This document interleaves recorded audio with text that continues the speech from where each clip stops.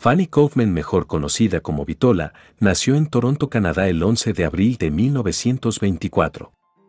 A muy temprana edad, su familia emigró a Cuba, de donde tomó el curioso apodo de Vitola.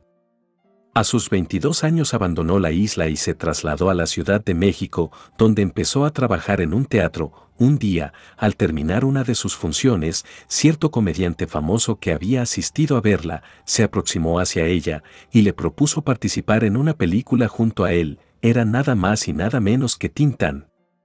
La invitó a participar en la película El Rey del Barrio. Hubo un rumor de que Vitola tuvo un romance con Jorge Negrete y de esa relación nació Humberto Elizondo que sería el supuesto hijo de El Charro Cantor. La Vitola falleció tranquilamente el 21 de febrero de 2009 a los 84 años de edad en su cama del Hospital Santa Elena de la Ciudad de México.